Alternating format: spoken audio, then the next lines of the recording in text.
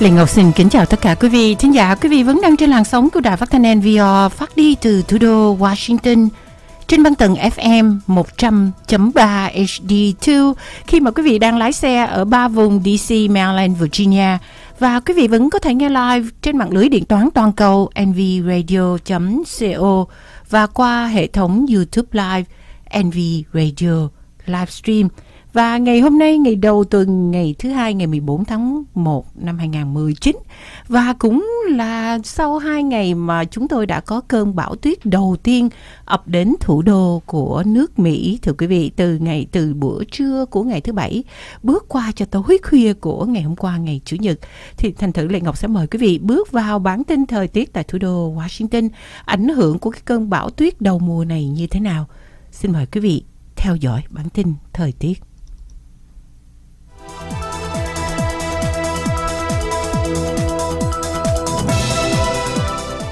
Sáng ngày hôm nay thì bầu trời tại thủ đô Washington có rất là nhiều mây, những cái ánh nắng của buổi sớm mai rất là nhẹ nhàng thưa quý vị. Nhiệt độ hiện tại lạnh 24 độ và đang có gió bắc thổi cho tới 8 dặm một giờ. Thành thử cái độ lạnh này chúng tôi đang cảm nhận như là lạnh hơn có thể là từ 20 độ mà thôi thưa quý vị. Và trong ngày hôm nay thì những cái ánh nắng chỉ là những cái ánh nắng nhẹ nhàng cho tới buổi trưa với những cái nắng rực rỡ hơn mà nhiệt độ cao nhất trong ngày thứ hai cũng là một cái nhiệt độ lạnh 36 độ mà thôi. Buổi tối hôm nay quá lạnh 23 độ và với một cái thời tiết như vậy thì những cái trở ngại mà quý vị thính giả sẽ gặp phải nếu mà quý vị đang lái xe ở những cái tuyến đường chính của ba vùng DC, Maryland, Virginia, quý vị sẽ à, gặp phải rất là nhiều trở ngại. Thành thử quý vị lái xe cẩn thận nha thưa quý vị uh, cái trận bão tuyết mùa đông lần đầu tiên cho cái uh, cho năm 2019 đó thưa quý vị. Hiện nay dự đoán cho có những nơi đã tới 12 inch tuyết. Trung bình là có thể có từ 7 cho tới um, 12 uh, inch.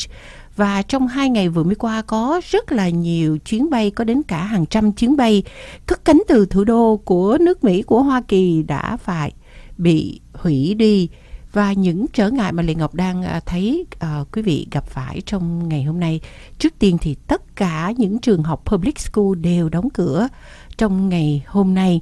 Do đó, một cái cảnh báo cũng cho rằng cơn bão tuyết vừa mới qua trong hai ngày đã khiến cho việc đi lại tại thủ đô và những tiểu bang như là Virginia, Maryland hết sức nguy hiểm hoặc là thưa quý vị có nhiều quý vị đã phải ở nhà vì ngày hôm nay những uh, trường học public đã bị uh, đóng cửa và như vậy thì uh, hiện nay Lệ Ngọc còn thấy không riêng gì ở tại ờ, uh, DC, Maryland, Virginia mà ngay cả ở California nữa thưa quý vị. Cái cơn bão mùa đông này diễn ra cũng ở một số tiểu bang ở nước Mỹ. Um, thống đốc của tiểu bang Virginia đó là ông Ralph Norman. Ông cũng phải um, thông báo rằng là với cái cơn bão này ông đã công bố một cái tình trạng khẩn cấp khi mà cái trận bão tuyết mùa đông từ vùng Trung Tây đã đến Virginia trong hai ngày hôm qua và cái lời tuyên bố tình trạng khẩn cấp này của ông Ralph Norman giúp cho tiểu bang Virginia được đối phó một cách dễ dàng hơn, sẵn sàng hơn trong cái cơn bão này. Thì cái cơn bão tuyết này quý vị đã thấy là bắt đầu đã rơi từ khu vực của đồi núi phía tây Virginia cũng như là ở khu vực Washington DC từ trưa ngày thứ bảy và um, tại Missouri thì Lệ Ngọc cũng thấy cũng bị ảnh hưởng. Thưa quý vị cũng có uh, tuyết. Và um, một sự kiện đã xảy ra đó là một chiếc phi cơ của hãng hàng không American Airlines cũng đã bị trượt ra khỏi phi đạo sau khi mà chiếc máy bay này đáp xuống và tiến vào phi cảng. Một cái điều rất là may mắn là không có uh, ai bị thương. Trong khi đó thì ở vùng bờ biển phía tây của nước Mỹ một trận bão khác trong một loạt những trận bão cũng đang tiến tới mà lần này là trút mưa lớn rất là lớn xuống vùng Los Angeles và San Diego từ ngày thứ bảy vừa mới qua đây. Do đó các chuyên gia khí tượng đang nói rằng một trận bão khác cũng sẽ kéo tới vùng Nam California thưa quý vị. Rồi ngay sau đó cũng có những cái trận khác trút thêm mưa trong sáng ngày hôm nay thứ hai ở tại California. Và như vậy thì cái cơn uh, bão ờ, mưa này đó thưa quý vị dự trù cũng sẽ uh, trút xuống um, từ 4 cho tới 6 inch nước mưa xuống một số khu vực của miền Nam California có nguy cơ gây lụt lội và đất chùi. Đó là những ảnh hưởng của những uh, cơn bão tuyết tại vùng uh, đông bắc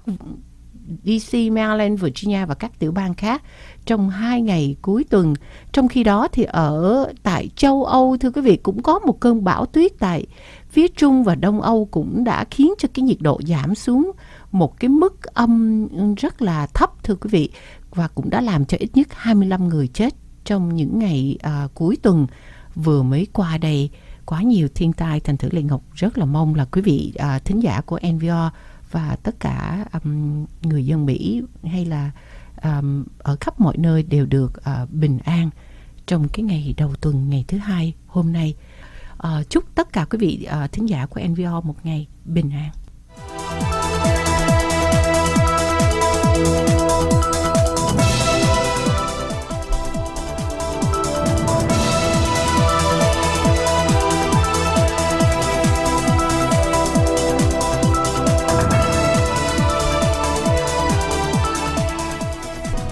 Thưa quý vị, sự kiện mà ngày hôm nay Lệ Ngọc NVR sẽ gửi đến cho quý vị và à, rất là chi tiết những gì đang xảy ra. Mỗi ngày thì chúng ta bắt đầu à, tìm hiểu và biết được chuyện gì xảy ra với lại à, Tổng thống Donald Trump. Ngày hôm nay thì thưa quý vị trong ngày cuối tuần thì đã có những cái tin tức đã cho rằng là FBI đã điều tra nghi ngờ Tổng thống Donald Trump ông có bí mật làm việc cho Nga hay không. Xin mời quý vị theo dõi câu chuyện của ngày hôm nay, những gì liên quan đến Tổng thống Donald Trump, mỗi ngày một câu chuyện. CNN has obtained transcripts, transcripts that explain why the FBI opened an investigation into whether the President of the United States was working on behalf of Russia against American interests. These are transcripts of closed door congressional interviews with two FBI officials who testified that officials were looking into whether President Trump was, quote, acting at the behest of and somehow following directions, somehow executing their will. They here Thưa quý vị, các nhân viên điều tra của FBI đã điều tra và tìm hiểu xem Tổng thống Donald Trump hiện nay, thưa quý vị, ông có thật sự làm việc cho Nga hoặc là bị Moscow Nga đe dọa, bắt chẹt hay không? Và cũng đang điều tra xem thật sự là Tổng thống Donald Trump, ông có đang làm việc cho Nga đe dọa đến an ninh quốc gia của Mỹ hay không? Và ừ, trong ngày cuối tuần thì tờ báo The New York Times đưa ra một cái bản tin làm chấn động dư luận của nước Mỹ nói rằng giới chức công lực FBI quá lo ngại về những hành động của Tổng thống Donald Trump thời gian sau ngày mà ông sa thải giám đốc FBI đó chính là ông James Comey và họ đã bắt đầu mở cuộc điều tra là phải chăng Tổng thống Donald Trump làm việc cho Nga on behalf of Russia đe dọa đến quyền lợi của nước Mỹ. Đó là câu chuyện chính mà chúng tôi sẽ gửi đến cho quý vị rất là chi tiết những sự kiện chung quanh sự việc này với lại luật sư Hoàng uh, Nguyễn Hoàng Duyên và đặc biệt trong ngày hôm nay thì quý vị cũng đã biết chúng ta đã bước qua ngày thứ 24 mà chính phủ liên bang của nước Mỹ vẫn còn tiếp tục đóng cửa.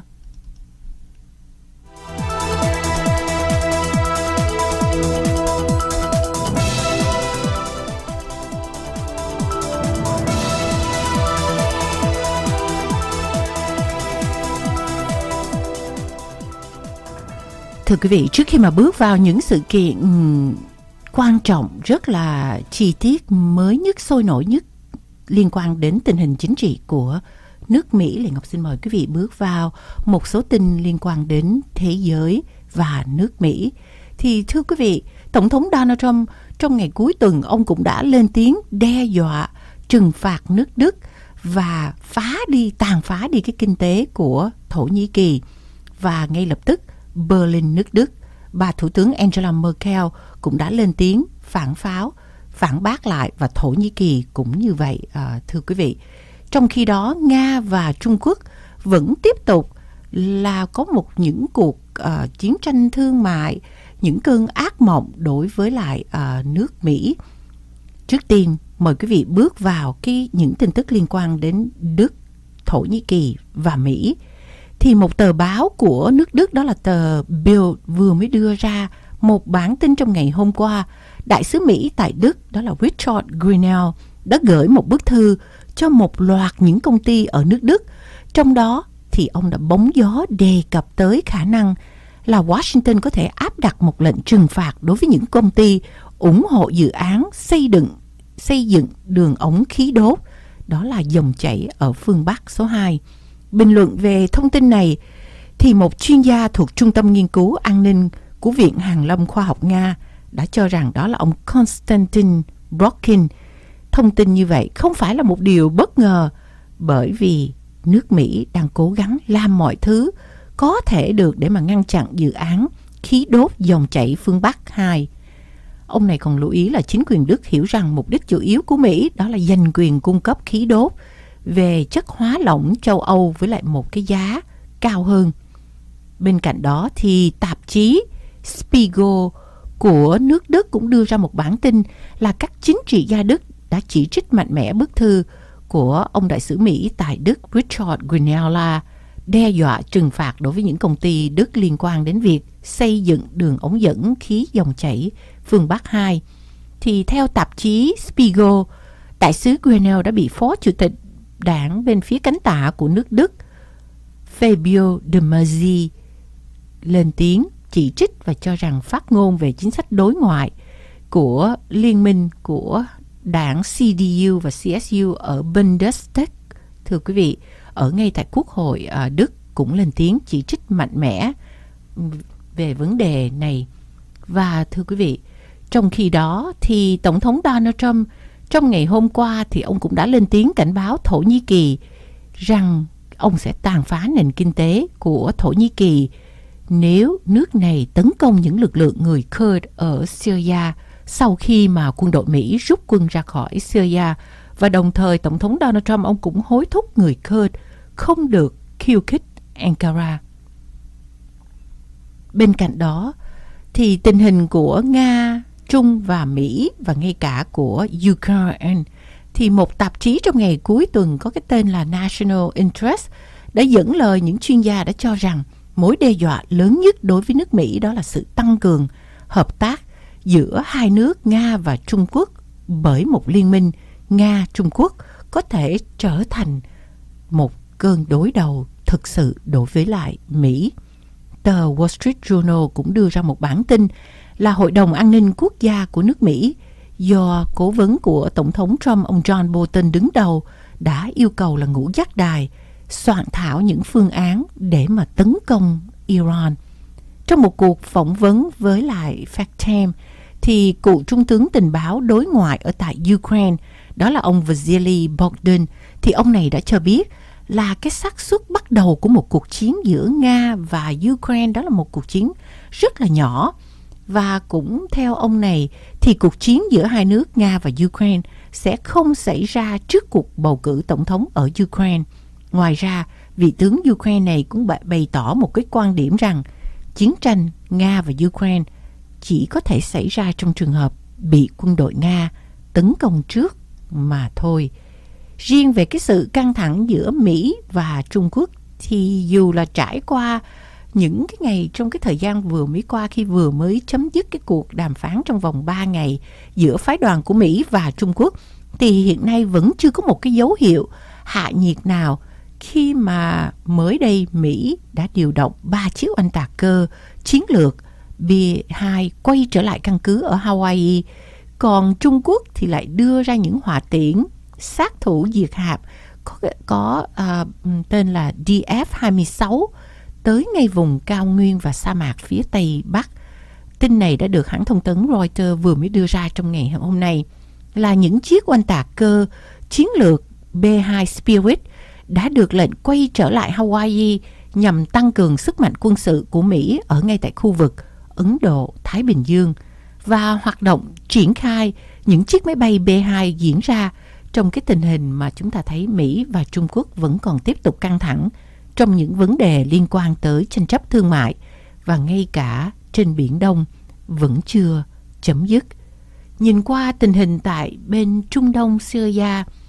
thì Israel trong ngày hôm qua cũng lên tiếng thừa nhận là Israel Do Thái vừa mới tiến hành một cuộc không kích xuống một địa điểm được cho đây là kho vũ khí của Iran tại Syria. Và ngoài ra thì Israel cũng vừa mới kết thúc một chiến dịch tìm kiếm một đường hầm được đào bởi lực lượng Hezbollah ở Lebanon. Quân đội Mỹ thì vẫn tăng cường lực lượng và vũ khí tới những căn cứ quân sự ở phía đông bắc của Aleppo và phía bắc của Raqqa, bất chấp là cái lời của Tổng thống Donald Trump, ông đã tuyên bố là rút quân đội Mỹ ra khỏi Syria. Và trong ngày 12 tháng 1, một tổ chức giám sát nhân quyền ở tại Syria có trụ sở ở London cũng cho biết một phái đoàn quân sự Mỹ gồm có 150 chiếc xe bọc thép quân sự cùng với những thiết bị liên quan đến do Mỹ đứng đầu cũng đã di chuyển về phía căn cứ Al-Jabi ở phía bắc của Raqqa và một căn cứ khác ở Al-Arabab phía đông của Aleppo. Thành thử thưa quý vị, tình hình của Syria tại Trung Đông thì trong ngày hôm nay lại có một chiếc máy bay vận tải Boeing 707 với 10 thành viên phi hành đoàn đã bị rơi ở ngay tại ở ngay Iran trong cái điều kiện thời tiết quá khắc nghiệt. Chiếc máy bay xấu số này bị rơi khi mà cố gắng hạ cánh xuống sân bay Karaj ở phía tây thủ đô của Tehran và giới truyền thông địa phương đã cho rằng phi công đã bị mắc lỗi khi mà tiếp sau khi mất kiểm soát chiếc máy bay 707 này. Tình hình tại châu Á, Thái Bình Dương thì à, một phát ngôn viên của Bộ Ngoại giao Nga lại cho rằng Mỹ không có một vai trò gì rõ ràng trong cuộc đàm phán song phương giữa Nga và Nhật do cuộc đối thoại này chưa bao giờ liên quan tới nước Mỹ và đồng thời cũng khẳng định những tuyên bố của phía Nhật Bản cho rằng những cuộc đàm phán này giữa Nga và Nhật nhằm giúp kiềm chế Trung Quốc là một cái điều rất là bất thường. Trong khi đó thì những viên chức quốc phòng bên Nam Hàn và Nhật Bản trong ngày hôm nay đã bắt đầu có một cuộc đàm phán về những sự việc được cho là một vụ khóa mục tiêu radar liên quan tới một chiếc máy bay tuần tra Nhật Bản và một tàu chiến Hàn Quốc. Vụ việc này đã làm xấu đi một cái mối quan hệ vốn đã bị căng thẳng giữa hai nước. Bộ Quốc phòng của Nam Hàn cho biết cuộc đàm phán đây là một cuộc đàm phán cấp chuyên viên đã bắt đầu tại Singapore, trong khi cả hai bên đều cáo buộc bên kia trình bày sai về những gì đang xảy ra ở một vùng biển của Nhật Bản mới đây vào hồi tháng trước. Lệ Ngọc vừa mới lượt qua những sự kiện, những bản tin mới nhất trong ngày đầu tuần liên quan đến tình hình của Trung Đông, tình hình của châu Âu, châu Á và những gì liên quan đến nước Mỹ trong ngày thứ hai hôm nay. Và tiếp theo Lệ Ngọc xin mời quý vị đến với vài giây phút quảng cáo của những cơ sở thương mại đã hỗ trợ cho làn sóng của NVR và sau đó luật sư Duyên và Lệ Ngọc sẽ trở lại tiếp tục gửi đến cho quý vị những sự kiện trong ngày đầu tuần thứ hai. Như một tiểu Sài Gòn, nơi thanh lịch để mua sắm, nơi để thưởng thức những món ăn ngon, đặc sắc, nổi tiếng của nền ẩm thực Việt Nam. Eden Center, tọa lạc gần Seven Corners, Fort Church, Virginia, được thành lập từ năm 1984 và Hội đồng Phát triển Kinh tế của thành phố Fort Church coi đây là một địa điểm du lịch số 1 trong khu vực, quy tụ hơn 100 cửa hàng với những cơ sở kinh doanh của người Việt Nam, gồm nhiều nhà hàng, tiệm vàng, gift store, tiệm cắt tóc, phục vụ cho quý vị đồng hương Việt Nam. Đến Fort Church, Virginia, quý vị đồng hương đừng quên đến trung tâm Eden Center.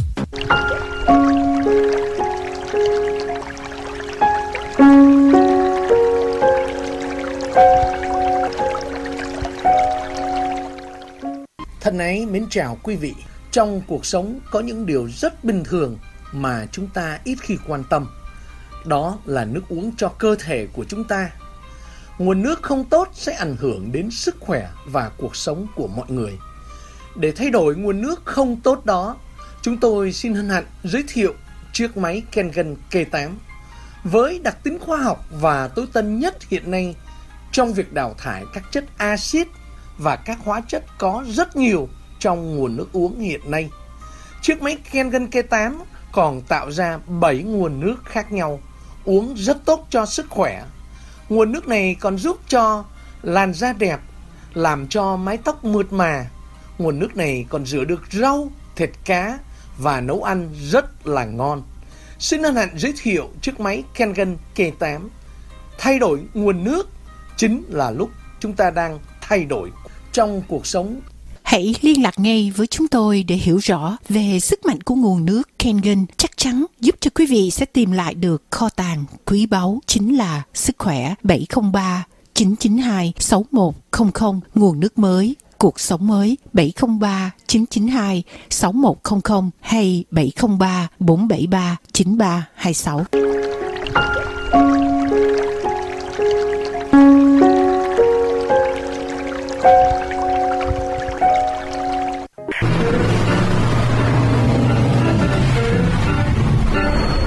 Professional Auto Body, nơi sửa xe được dựng lên và nuôi dưỡng bởi thân chủ và khách hàng, có trên 30 năm phục vụ đồng hương trong vùng Hoa Thịnh Đốn. Hãy đến với Professional Auto Body để có sự định giá trước cho bảo hiểm xe của quý khách chính xác, nhanh chóng, miễn phí. Professional Auto Body chuyên môn làm đồng sơn sửa toàn bộ các xe bị đụng, kéo sườn xe, dầm vá đúng màu, xe mục, trang bị body shop lớn nhất nhì vùng Virginia DC và Maryland so với Hoa Kỳ, dàn kéo sườn xe vĩ đại, phòng sơn, phòng hấp đúng tiêu chuẩn quốc tế và có nhiều thợ body khéo tay và hàng chục năm kinh nghiệm. Professional do ông Minh phụ trách. Điện thoại 703 751 4224 703 751 4224.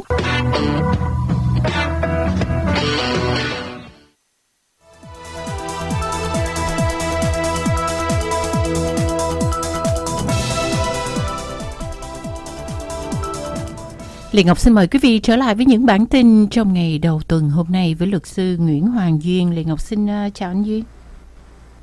Nguyễn Hoàng Duyên xin kính chào quý thính giả và chào Lê Ngọc. Dạ thưa vâng, thưa với lại uh, luật sư Duyên, thời tiết tại thủ đô Washington sáng ngày hôm nay thì có rất là nhiều trở ngại vì uh, trong hai ngày cuối tuần từ ngày thứ bảy trưa ngày thứ bảy cho tới ngày chủ nhật thì một cái cơn bão tuyết đã kéo ập tới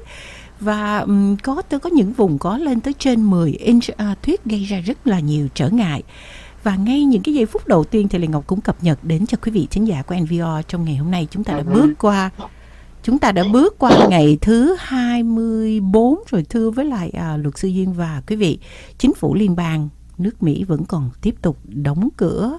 một phần và cái ảnh hưởng bắt đầu chúng ta đã thấy rất là nhiều rất nhiều những nhân viên gia đình của họ lo ngại vì trong ngày thứ sáu hôm qua hôm cuối tuần cái paycheck họ thấy đó là con số không. Như vậy thì vấn đề mà chính phủ tiếp tục đóng cửa chúng ta cũng bắt đầu cảm thấy được những cái ảnh hưởng những gì mà chúng tôi đã gửi những cái bản tin đến cho quý vị. Nhưng mà có một cái câu chuyện mà nó nó nổi bật nhất mà nó làm giấy động lên nữa thưa với lại à, luật sư duyên trong cái ngày đầu tuần này đó là FBI, tờ New York Times đưa ra một cái bản tin là FBI mở điều tra nhắm vào Tổng thống Donald Trump sau vụ sa thải ông James Comey và rất là lo ngại về những hành vi, những gì mà Tổng thống Donald Trump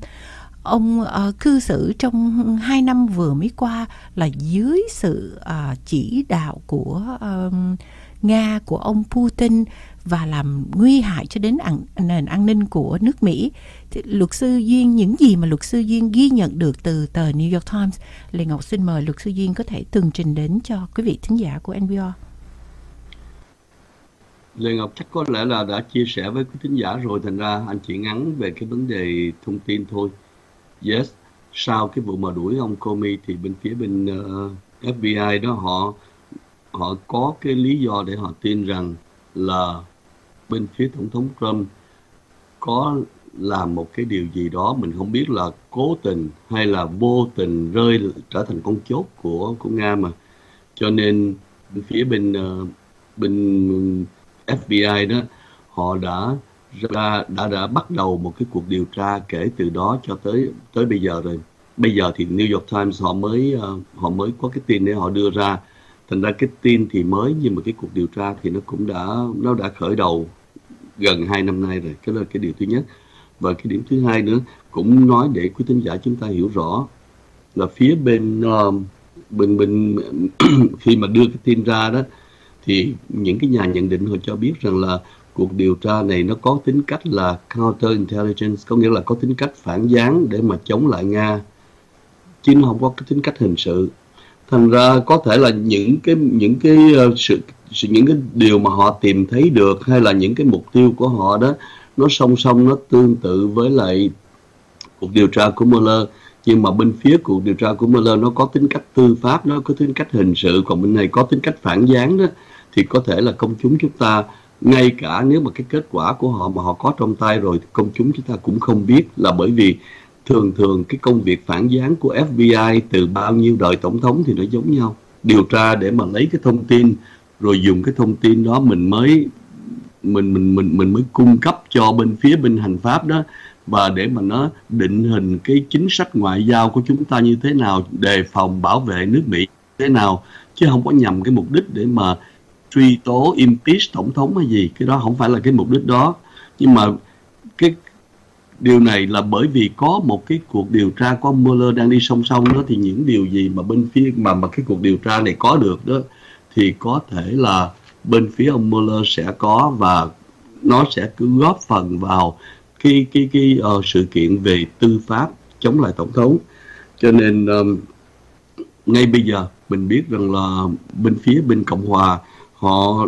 bắt đầu một cái chiến dịch để mà họ biện hộ tổng thống. Thì chúng ta nghe đài Fox thì chúng ta nghe những cái luận điệu như cái kiểu là ô oh, um, điều tra như vậy là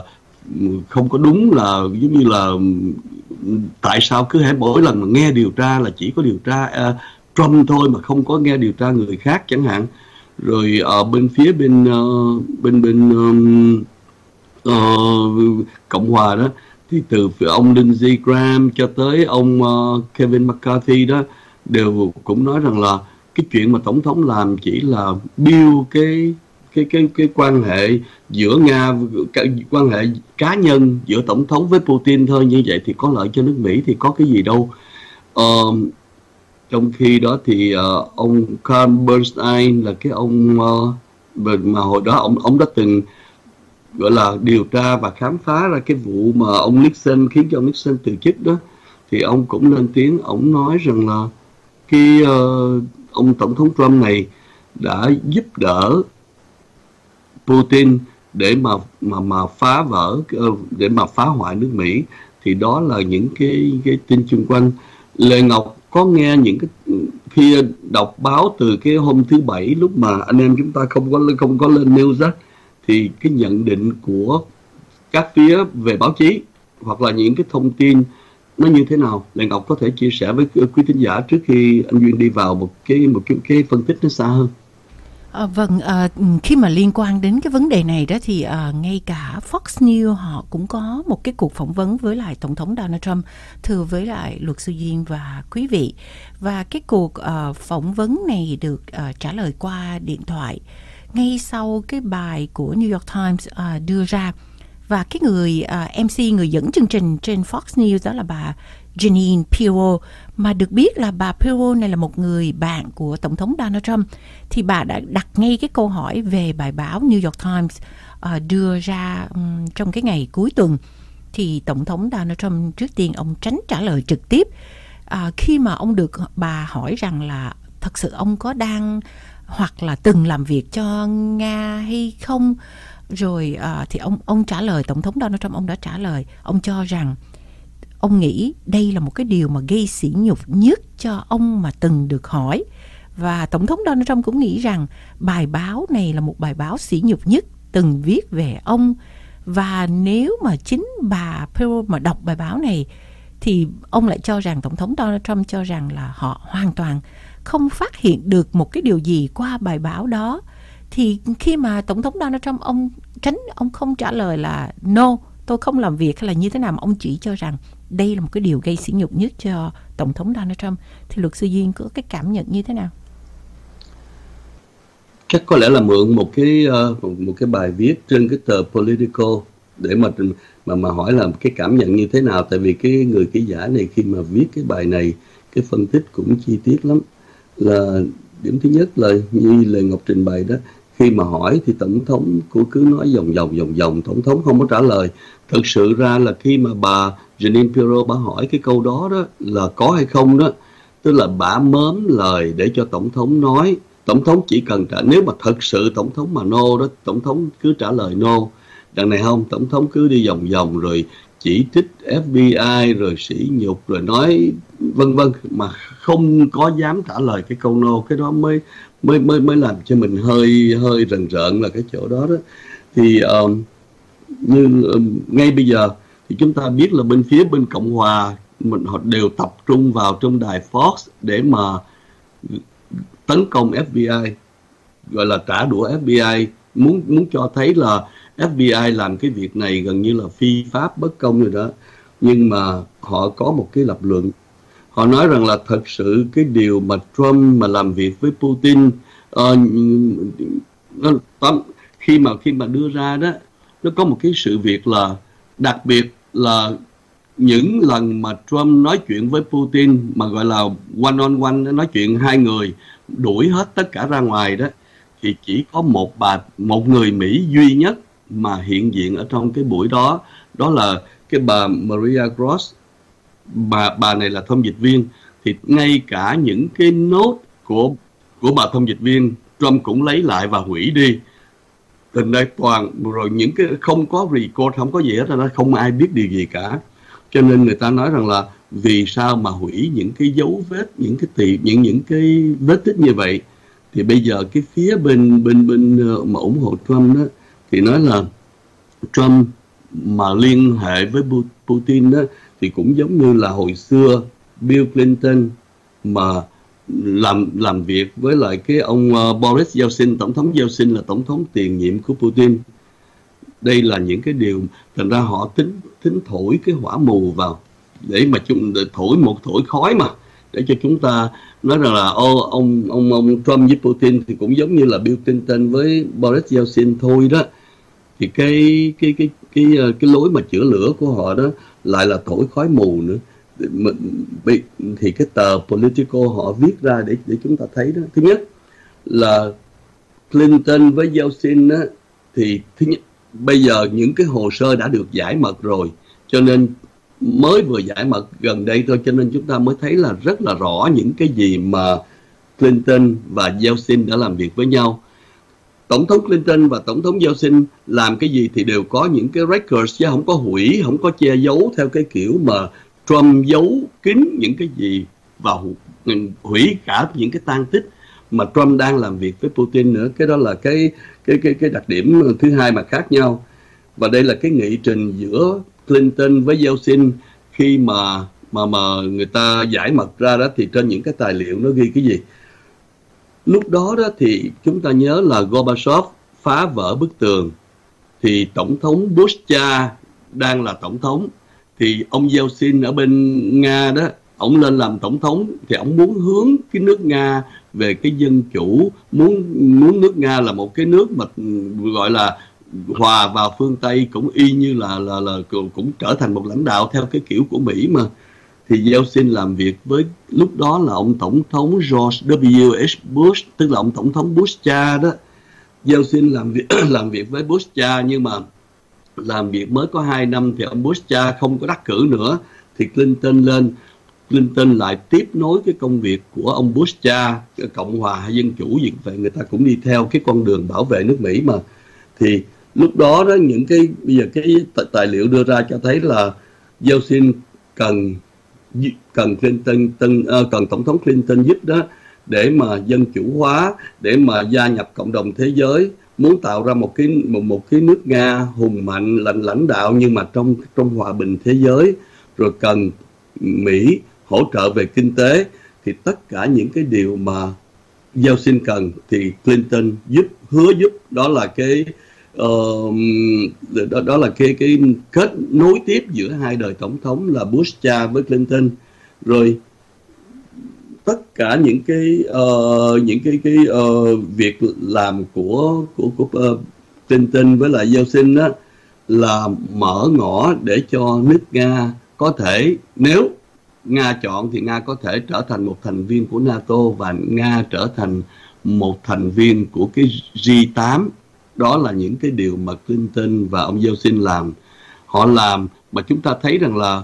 lúc đó Yeltsin nhìn thấy cái trật tự thế giới mà muốn phát triển mà muốn ổn định là cái trật tự thế giới do Mỹ thiết lập chứ không phải là phá vỡ cái trật tự thế giới của Mỹ để mà để mà make uh, nước nước Nga nó trở lại cái thời Xô Viết make Russia great again. Không phải như vậy. Còn trong khi chúng ta nhìn thấy cái, cái những cái điều mà chúng ta đã xảy ra thấy xảy ra đó chúng ta thấy rằng là Trump Putin thì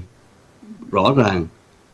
Trump đã là công cụ của Putin để mà chống độ chống đỡ giúp đỡ cho cái những cái chế độ độc tài phá hoại dân chủ.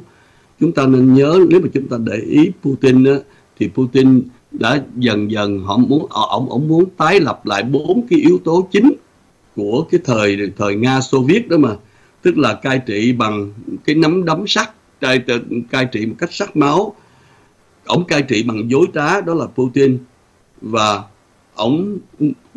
Putin muốn bành trướng nước Nga trở lại. Tức là bây giờ muốn tấn công qua Ukraine muốn sát nhập Crimea vân vân. Và mỗi một lần mà Putin mà đi tới đâu đó là ủng hộ độc tài và muốn phá vỡ cái nền dân chủ của của Tây phương đó mà. Cho nên um,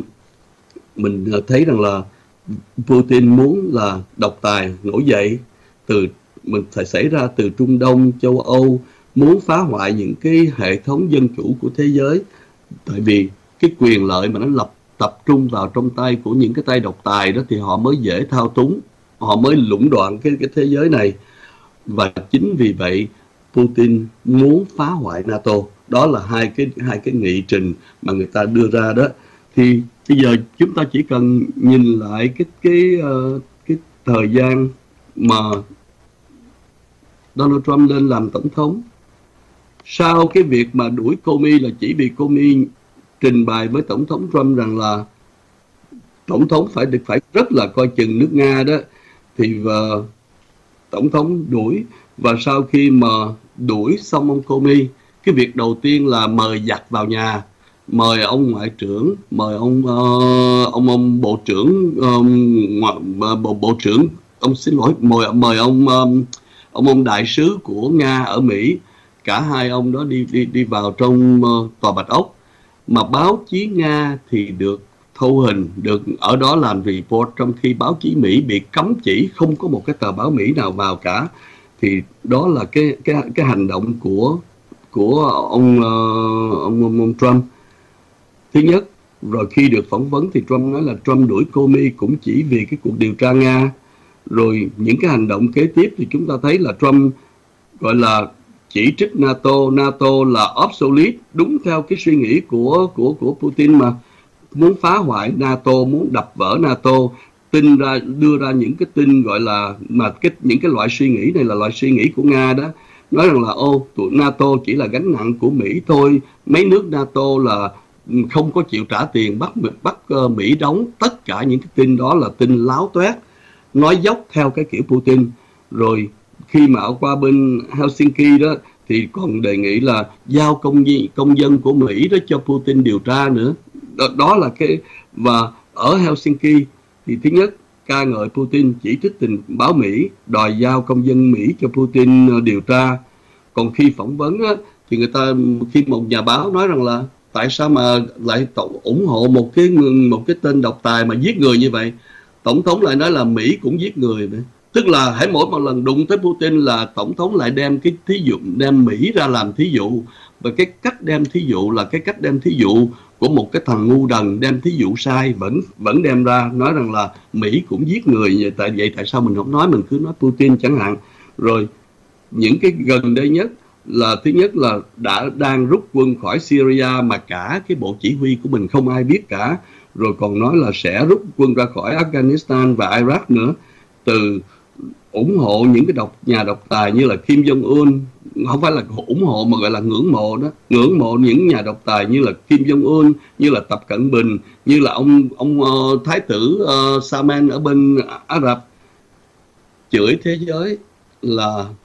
tất cả những là là ông chửi nước Mỹ đó. Nói là nước Mỹ chúng ta là sucker cho cả thế giới. Mình biết là bây giờ Trump là sếp cơ của ai thì mình biết rồi. Rồi đó là những cái những cái dấu hiệu mà khi mà mình mình kết nối lại đó, thì mình thấy là rõ ràng hình như là Putin trong vòng 2 năm cầm quyền đó, tất cả những cái nghị trình mà Trump làm đó, Putin đã kiểm soát gần như là toàn bộ rồi. Cho nên đến đến một cái mức độ khi mà nước Nga đó mà họ lên tiếng mà, thì ông Putin ông nói là Donald is right đó là cái giọng điệu của giáo chủ khen cái anh chàng nô tài nhà mình. Còn báo chí của Nga thì lại nói là, Trump is ours again. Báo chí có nghĩa là báo chí nó họ theo dõi, họ đã có những cái tin tức rồi mà bây giờ họ không có cần báo chí Nga đó. Họ không có cần giấu gì cái điều đó nữa hết đó. Trump is ours again.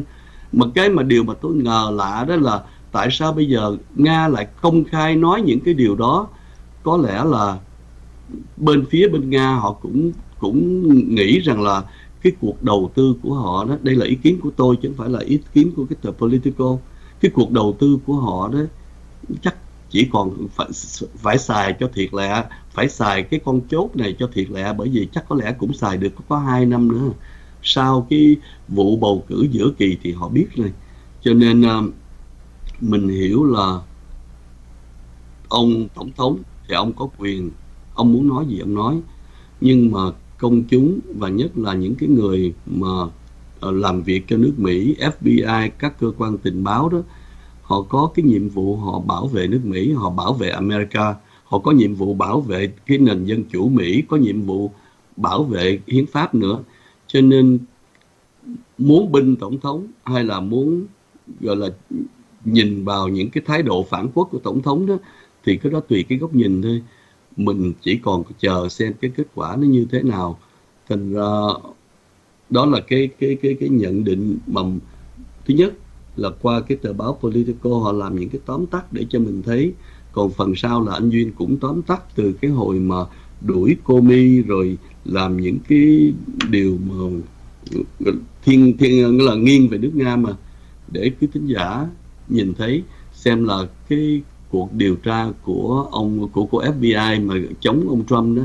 có có có um, có có đưa được cái cái sự thực nó ra tới đâu hay không? Nhưng mà về cái điểm pháp lý đó chúng ta biết rằng khi mà điều tra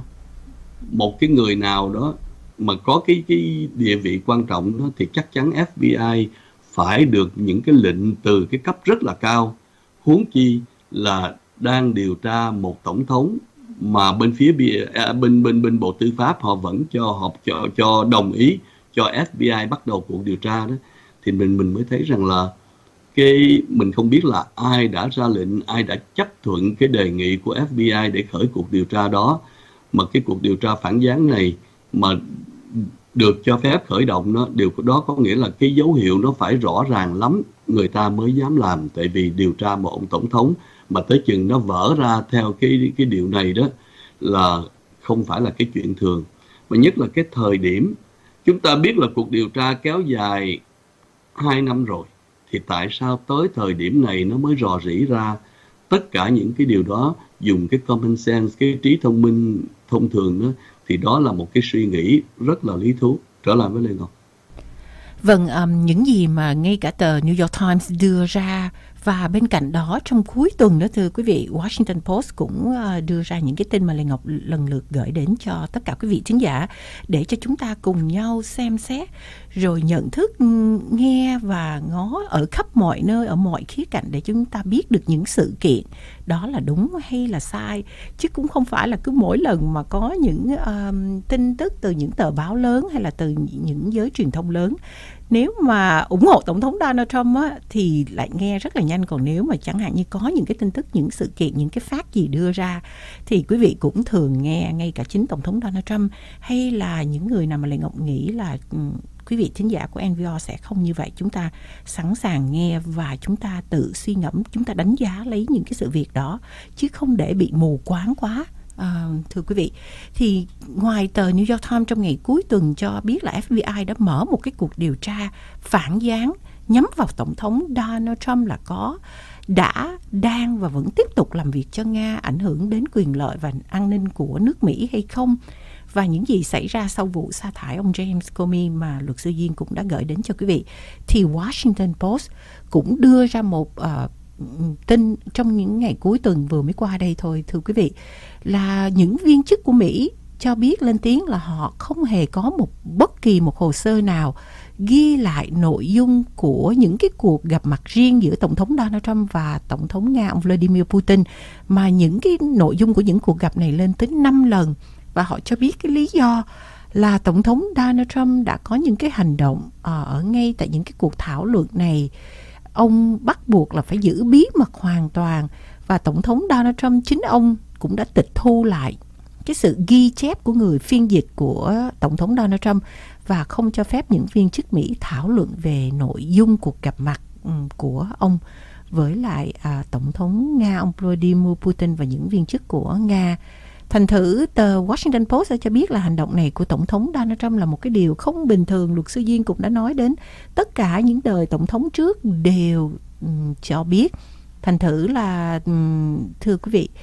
um, trở lại hai cái bài báo này đi thì thưa với luật sư Duyên cũng có những cái sự phản bác lại từ tòa bà đốc thì tòa bà đốc cũng đã tuyên bố rằng là chính quyền của tổng thống Donald Trump những lý do đó là vì họ mong muốn có một cái sự cải thiện cải thiện quan hệ ngoại giao giữa Mỹ và Nga sau khi mà chính quyền của ông Obama đã theo đuổi một cái chính sách um, sai lầm nhằm đưa hai nước Mỹ và Nga vào một cái thế đối đầu nhau. Đó là một cái điều uh, không tốt cho cái tình hình của uh, thế giới. Và ngay cả tòa bạch ốc cũng lên tiếng và cho rằng là chính quyền của tổng thống Donald Trump là đã áp đặt những hình thức trừng phạt mới để đáp trả những hành vi của Nga và ngay cả chính tổng thống Donald Trump khi mà ông trả lời với lại bà Janine Pirro thì tổng thống cũng đã cho biết rằng là ông là cái người cứng rắn hơn đối với Nga so với bất kỳ ai khác, so với bất kỳ đời tổng thống nào trước đó. Ừ, ông cho là ít nhất là đối với ba hoặc bốn đời tổng thống gần nhất thì cái điều phản bác này từ tòa bạch ốc chúng ta nghe cả hai chiều thì đúng và sai ở đâu thưa luật sư Duyên? Thì đó, qua cái sự trình bày của tờ Politico, rồi qua cái việc mà Lê Ngọc mới vừa trình bày, thì mình để cái đúng và sai đó, thì hãy à, mời mời quý thính giả. Nhưng mà có một ờ, vài điều mà Donald Trump nói đó, và cái cái cái cái lũ mà cuồng Trump ở trên đài Fox mà họ hùa theo Donald Trump đó,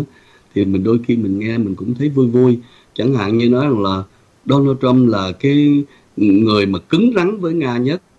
quý thính giả nhìn quý mời quý thính giả mời luôn mấy mấy người cuồng Trump nữa theo dõi hai năm nay coi là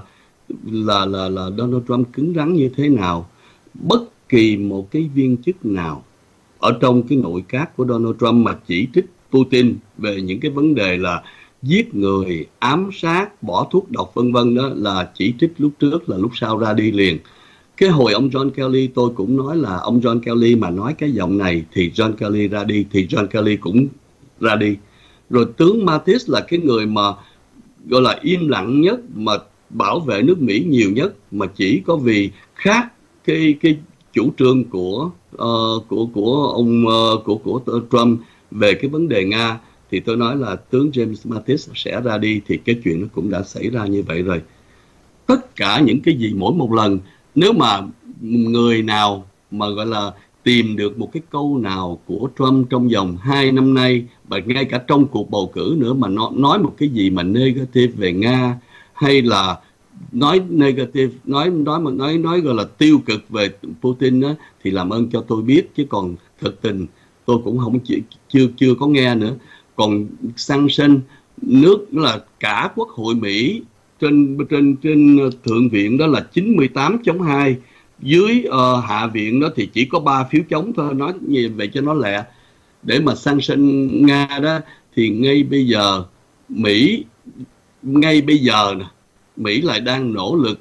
là nới lỏng cái chuyện mà sang sinh ờ, nước nga. Có nghĩa là đi ngược cái quyền lợi của quốc hội. Ờ, đi, đi ngược cái quyết định của quốc hội. Thì đó là đi ngược lại cái quyền lợi của mỹ. Cho nên nói rằng uh, tổng thống Trump đó gọi là cứng rắn nhất với Nga từ hồi đó tới bây giờ đó thì đây là từ một cái góc nhìn khác nè. Là tại vì Trump là sớt cơ của Putin đó thành ra sớt riết mà Putin bây giờ đó là cứng hơn tất cả các cái đời tổng thống nào. Phải nói rằng là tổng thống Trump nó làm cho Putin nó cứng hơn bất cứ kỳ, kỳ, kỳ tổng thống nào khác thì cái câu đó nó đúng hơn nghe Trump nói viết mà nghe Trump nói một cách cái trân tráo đó thì bây giờ mình quen rồi. Chẳng hạn như đứng trước cái ống kính truyền hình mà nói rằng là uh, đi muốn đi mua thực phẩm nó cần phải có ID tất cả những người nội trợ tất cả những ông mình mình cùng ngay cả lâu lâu mới đi mua đi chợ một lần đó cũng biết là đi mua chợ không có ai mà đòi ID hết đó dạ thưa ngài tổng thống, người ta đòi ID chỉ khi nào mà mấy đứa nhỏ nó đi mua thuốc lá hay mua rượu đó, người ta đòi ID chỉ vì cho nó nó đúng tuổi, người ta mới bán rượu, bán thuốc lá thôi. Chứ còn cái mặt mà cỡ như là gọi là, như là cái mặt Donald Trump mà chưa đưa ra đó, mua cái gì người ta cũng không có đòi ID đó rồi chẳng hạn như là tổng thống nói rằng là là ờ, mới đây thôi, một hai ngày gần đây, nói những cái câu mà nó stupid đến mức độ là ừ, ờ, chưa có tụi biết cái tụi ờ, tị nạn tụi di dân đâu. Tụi di dân xe của tụi nó mạnh lắm á. Mạnh hơn xe của cảnh sát mình nó tối tân xe hơn cảnh sát mình nó mạnh hơn xe cái cảnh sát của của ờ, à, của cảnh sát ai cảnh sát biên phòng nữa. Nói tôi nghe tôi muốn sặc ra luôn là tại vì có ai mà nói rằng là ừ, quý thính giả nhìn những cái thước phim đó coi coi coi cái người tị nạn đó có ai mà có xe mà nhanh hơn xe cảnh sát Mỹ không? Mạnh hơn xe cảnh sát Mỹ không? Rồi uh, nói những cái câu như là tất cả những cái người mà tổng thống đều đồng ý với tôi đó là phải xây tường hết đó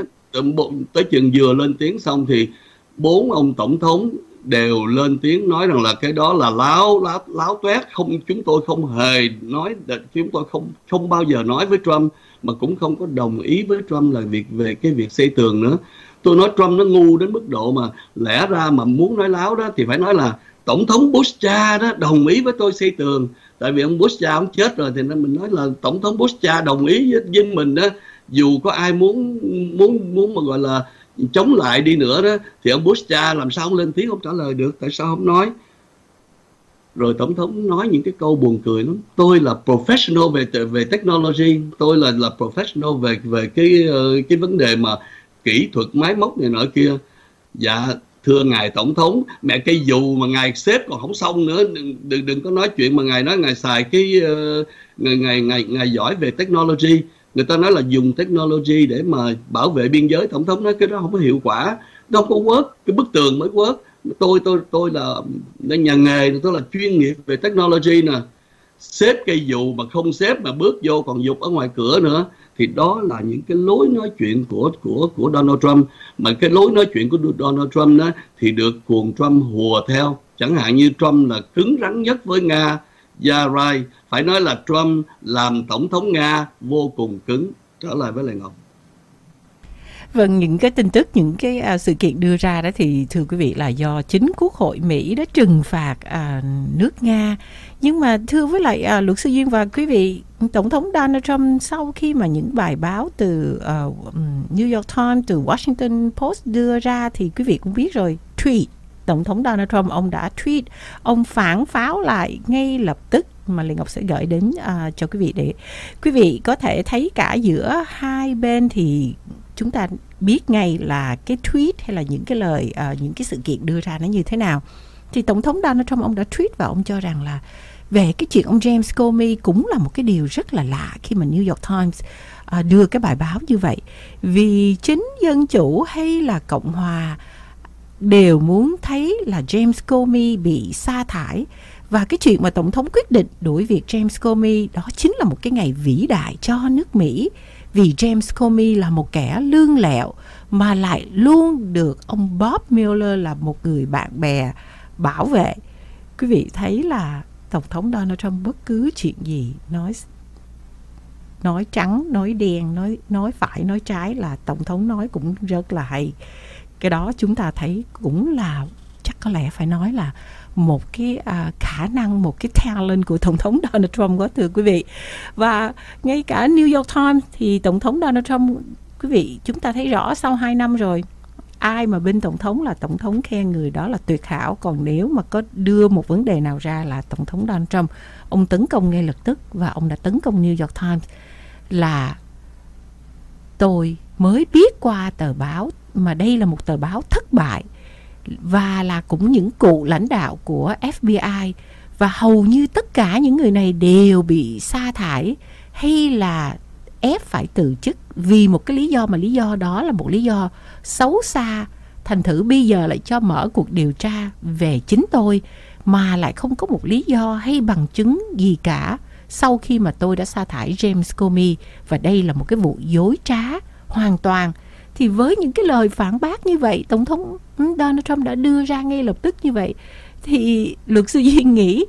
người dân Mỹ hiện nay họ đưa lên những cái là họ họ chán cả bên cộng hòa và họ chán cả bên dân chủ và họ chán ngay cả tổng thống Donald Trump. Và nhất là vấn đề mà chính phủ uh, liên bang Mỹ vẫn còn tiếp tục đóng cửa một phần. Người dân Mỹ hiện nay chỉ nói là mở cửa chính phủ ngừng đóng cửa để mà người dân Mỹ đi làm và có lãnh lương, thưa luật sư Duyên.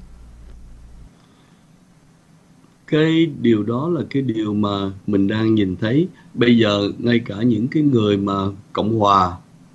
là ừ, những người cộng hòa hòa mà có quyền lực ở quốc hội đó, họ cũng đã bắt đầu, họ nói rằng là cái chuyện mà họ không, cái cái bức tường tính sao? Họ nói là phải mở cái cửa ờ, phải mở cửa chính phủ. Chẳng hạn như là bên phía bên ờ, uh, hiện giờ mình thấy đó là có ba ờ, ba cái người uh, nghị sĩ cộng hòa rồi. Là cái uh, nghị sĩ Cory Garner ở Colorado rồi bà Susan Collins ở Maine rồi uh, Lisa Murkowski ở bên Alaska. Là trong cái nhóm mà nói rằng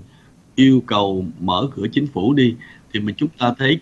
thượng viện bây giờ thì có 46 với lại ờ, uh, 46 với 53 tại vì chưa có đủ 100 mới có 99 46 với 53 nếu mà trong cái nhóm này mà mình thấy có ba vị mà đi qua bên phía bên dân chủ còn thêm mình thấy là Mitch uh, Mitch uh, ông ông Mitt Romney đó Mitt Romney mà cũng lại đứng qua bên phía bên dân chủ nữa thì cái con số nó gần lắm chỉ cần thêm một hay là hai vị ở trên thượng viện mà nghiêng qua nữa đó thì cái chuyện mà mở cửa chính phủ có thể là có cái uh, khả năng. Nhất là Lindsey Graham đó thì bây giờ nói rằng là phải uh, lập tức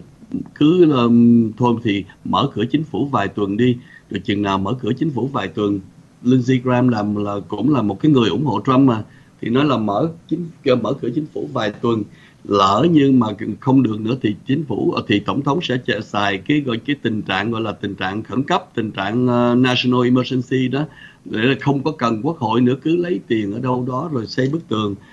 Đó là những cái những cái dư luận nó cho thấy rằng là nó có một cái rạn nứt bên đảng cộng hòa. Tôi thì tôi mong rằng là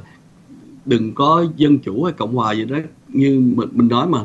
dân chủ hay cộng hòa muốn cãi nhau như mổ bò về cái chuyện đóng cửa, về về cái chuyện bức tường đó thì cứ tiếp tục cãi. Nhưng mà đừng có gắn cái bức tường vào cái việc mà đóng cửa. Nó cũng giống như là cha mẹ mà cãi nhau về cái tiền ông bố đòi đòi có tiền cá độ football hoặc là ông bố có tiền đi nhậu đó thì cứ cãi. Đưa hay không đưa, tính sao? Đừng có bỏ đói mấy đứa con, tôi đã lặp đi lặp lại cái chuyện đó. Mà chính vì cái lý luận common sense common sense theo cái kiểu đó đó, bây giờ những cái thăm dò cho thấy rằng là năm mươi mấy phần trăm 53 hai cái thăm dò khác nhau, một cái là 52 phần trăm, cái 53 phần trăm đều đổ lỗi cho Trump và phía Cộng hòa về cái việc đóng cửa. Trong đó cái khoảng là 29 cho tới 32 phần trăm thì đổ lại cho cho đổ đổ lỗi cho dân chủ thì nói như vậy để mình hiểu rằng là cái common sense công chúng người ta có chứ người ta không có ngu. Muốn hay ủng hộ hay là chống bức tường gì cái chuyện là chuyện của quý vị. Đừng có bắt người ta là, là đừng có đem cái gia đình của trên của 800 ngàn người công nhân và thêm vào đó là những cái những cái người mà chung quanh ảnh hưởng lên tới vài triệu người đó. Đừng có để người ta đứng chính giữa cái cuộc đấu đá về bức tường hai cái chuyện đó là hai cái chuyện khác nhau cho nên càng ngày người ta càng thấy là Trump và Cộng hòa có chịu trách nhiệm về cái vấn đề đóng cửa trở lại với Lê Ngọc.